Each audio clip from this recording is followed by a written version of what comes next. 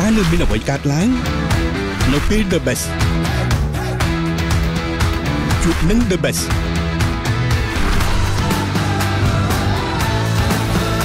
A day with the best ជួបគ្នាឆាប់ឆាប់នេះ